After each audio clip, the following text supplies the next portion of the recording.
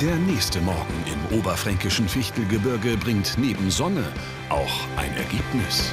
Zweiter Tag im Gasthof im Gsteinigt. Gestern hatten wir das erste Testessen. Hier sind die Ergebnisse und die werden wir jetzt erstmal verkünden. Das Betreiberpaar hat alles gegeben. Nun muss ich zeigen, ob die Testesser diesen Einsatz honoriert haben. Hi. Hallo. Guten Morgen. Morgen. Na? Hi. Hi. Hallo, schönen guten Morgen. Morgen. Wie geht's euch?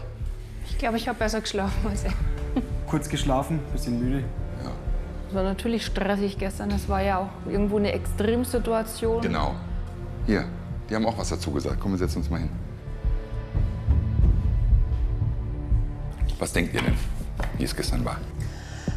Also ich glaube, dass äh, Vorspeise und Hauptgang ganz gut rausging. Ich weiß nicht, ob das nur mein Gefühl war, aber zum Dessert hin ist es dann recht stressig geworden. Wir haben uns ja dann recht angezickt.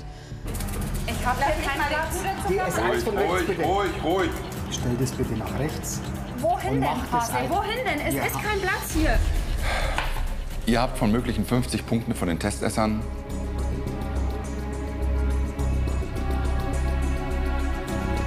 vier und 30 Punkte bekommen. Glückwunsch. Danke. Ein ziemlich solides Ergebnis. Alle drei Gänge sowie der Service schneiden mit guten acht Zählern ab. Nur das Ambiente enttäuscht auf ganzer Linie und reißt die Summe wieder in den Keller. Ambiente von möglichen 10 Punkten Zwei. Und das zu Recht.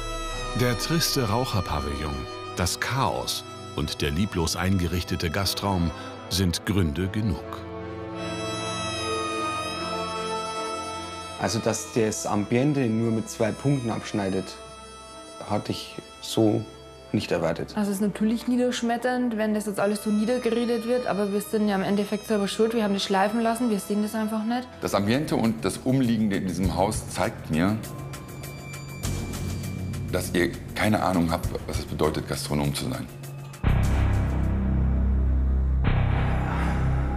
Also der Satz, dass ich kein Gastronom bin, das war, glaube ich, das Härteste, was er zu mir gesagt hat. Ihr habt nicht das Rüstzeug, das hier zu betreiben.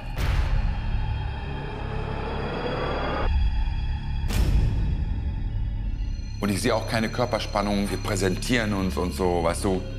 Nee. Kommt mal wieder nach draußen. Der Sternekoch will dem Ehepaar den sprichwörtlichen Wald vor lauter Bäumen zeigen. Und jetzt guckt euch mal an, wie beschissen das hier aussieht. Da stapeln sich die Steine. Vertrocknete Blumen. Da vorne ist die Hecke nicht geschnitten. Das Ganze geht hier tief ab. Hier kann kein Mensch sitzen. Ja, ein Kies, der so tief ist, ja, dass das als Terrasse eine Katastrophe ist. Dann kommt mit. Dann dazu, was ist, was ist? Gib mir mal eine Antwort, was das hier ist.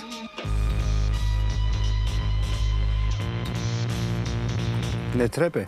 Ja, jetzt will er mich verarschen. Aber ich halte es durch. Wie kann man denn sowas so versiffen lassen?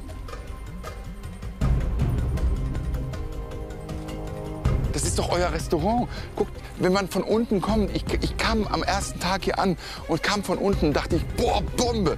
Aber was soll das denn? Ich mach das einfach mal. Der an sich wunderschöne Zugang war nur mit vollem Körpereinsatz begehbar. Und das ist, das ist, da, das ist eure Seele, eure gastronomische Seele. Nach außen hin überhaupt nicht zu wissen, was es bedeutet, wirklich zu strahlen und Menschen eine einladende Umgebung zu geben. Aber oftmal, wenn... Nein, also, kein Aber ist eine Ausrede. Ausrede. Ja, Das das, ist mag, euers. Das habt ihr mit eurem Geld bezahlt oder tut es noch. Aber das ist genau. Ach. Zwei Minuten. Ich, ich kann, also ich weiß gar nicht, wie ich mich fühle. Ich fühle mich einfach nur gerade irgendwie äh, wie leer und also Irgendwann wird man einfach betriebsblind und man sieht es nicht mehr.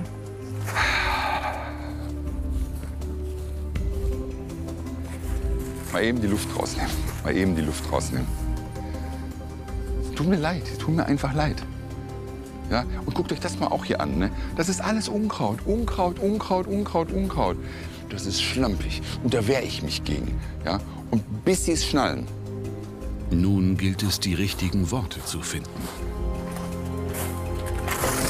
So. Entschuldigung. Machen wir weiter.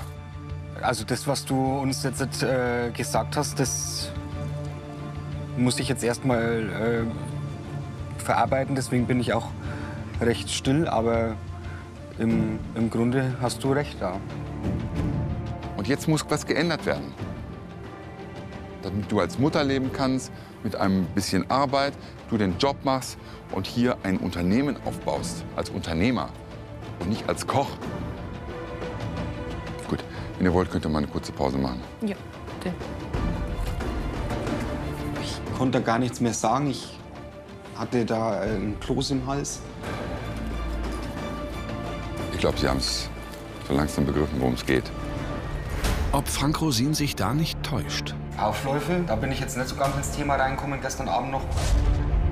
Das ist hier deine Existenz. Das fliegt dir gerade alles um die Ohren.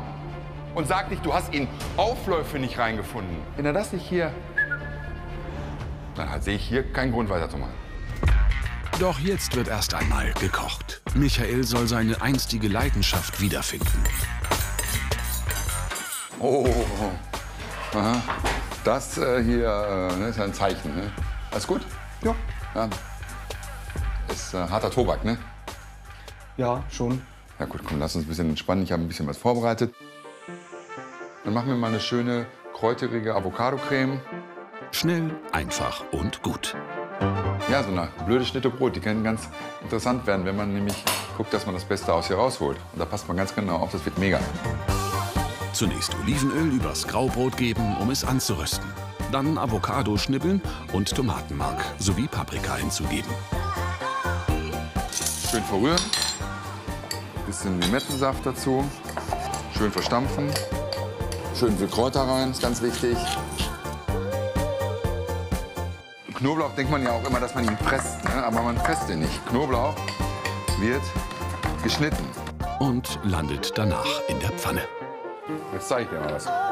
Ich nehme diesen angebratenen Knoblauch einfach hier rein. Schluck Weißwein. Bisschen. Hole ich mir den Rest noch. Durchrühren. So, und jetzt probier das mal. Das ist richtig gut. Richtig gut, ne? Ja. So, und das ist unser Sandwich Spread. Das ist so eine Art mayonnaisiger Quark mit ganz viel Zwiebeln, Paprika, Crunch. Und das ist jetzt unser Organic Sandwich Spread. Das bedeutet, da sind keine Chemikalien drin, da sind keine Dingsbums und keine Bumsdings drin, sondern es ist einfach nur sauber. Auch Blumenkohl und Champignons haben keinen Dreck am Stecken und landen in der Pfanne. Die Speisezwiebel folgt mit ebenso weißer Weste und natürlich klein geschnitten. Nee, nee, nee, nee, nee. Ey, pass auf. Das ist scheiße. So würzt man nicht. Man denkt sich aus, welche Menge habe ich hier drin. Und diese Menge brauche ich auch. Und dann würze ich. Richtig. Bewusst. Leidenschaft. Das ist ein verlängerter Arm, um das gut zu machen. Und wenn du hier zwölf Stunden am Tag stehst, dann möchte ich, dass du abends nach oben gehst und sagst, das war heute ein produktiver und guter Tag. Ja, ich denke, stolz zu sein auf die Arbeit, die man geschafft hat, äh, das ist sehr wichtig. Momentan ist es einfach so, dass man aus der Arbeit rausgeht und einfach bloß noch kaputt ist. Das muss in deinem Kopf implement, implant, implant, imp, reingehen einfach. Sagen wir es einfach mal so. Ich doch wohl gelacht, dass wir jetzt dämlich mal eben so eine Leidenschaft wieder rausholen, oder? Und? Wollt ihr das auch haben? Dann sage ich euch mal jetzt ein Geheimnis. www.karl1.de slash Rosinsrestaurants. Ja, ja, aber keinem weitersagen. In einer zweiten Pfanne Tomatenscheiben anbrutzeln, Weißwein an die erste Pfanne gießen und ein Birnchen in Streifen säbeln. Was, Birnen? Warum Birnen? Für die Süße? Richtig. Nun den Avocado-Aufstrich übers Brot verteilen, um dann die heißen Tomaten on top zu platzieren. Das macht mir bei dir ja auch schon Spaß. Bei dir ist ja Hopfen und Malz nicht verloren, verstehst du?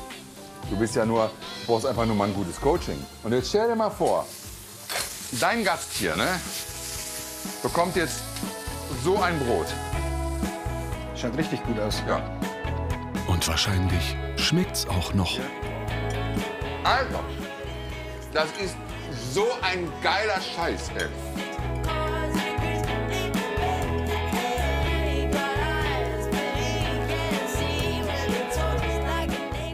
Hammer. Brett, ne? Hammer. Hol mal deine Frau. Denn auch Inge soll wieder Feuer fangen. Ihr Mann hat schließlich in einem Sternebetrieb gelernt und ist zu allerhand fähig. Noch ein Löffelchen für Nicole. Das war ja für mich sommerlich, frisch, relativ einfach gemacht, aber ich fand es super lecker. Das ist richtig lecker. Seht ihr das? Wir müssen die Küche hier gar nicht neu erfinden. Nee, das schmeckt super. Wir müssen sie nur präzisieren. Und dann müssen alle Gerichte auch einzelne Marken sein. Und es bringt dich wieder in die Situation, dich leidenschaftlich und mit einem gewissen Maß auf einem ganz bestimmten Level zu bewegen. Ja, es hat mir einfach gezeigt, wie simpel und gut das äh, Kochen wieder sein kann und mit tollen Produkten einfach was Schönes auf den Teller zu zaubern. Ja. Wir machen jetzt Folgendes. Ihr setzt euch heute hin und schreibt mir mal im Zuge dieser Brote und Salate, vegetarisch, Aufläufe finde ich ganz wichtig, einfach mal sagen, 20 Gerichte. Okay. Und vor allen Dingen unbedingt gucken auf Dinge aus der Region. Also das ist jetzt schon Ansporn und äh, ich habe da schon ein paar Sachen im Hinterkopf. Also ich glaube, dass das Michael heute sehr getroffen hat, was der Frank gesagt hat. Aber dass er dann beim Kochen noch mal richtig aufgeblüht ist und dass er dann schon gemerkt hat, er will ihm nichts Böses und dass er dann schon gezeigt hat, was er kann. Also bis morgen. Bis morgen. Ein erstes Flämmchen ist entfacht. Doch reicht das, um den hochverschuldeten Betrieb wieder auf Kurs zu bringen?